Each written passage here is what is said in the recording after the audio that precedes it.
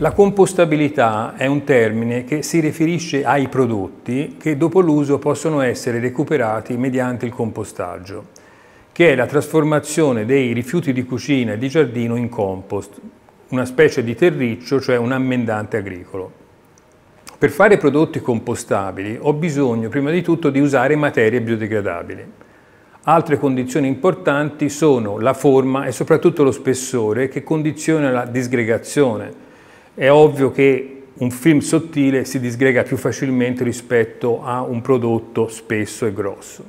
I prodotti eh, quindi devono essere compatibili col ciclo di compostaggio avendo spessori sufficientemente bassi. Inoltre, altra condizione, non devono rilasciare sostanze pericolose nel compost come ad esempio metalli pesanti.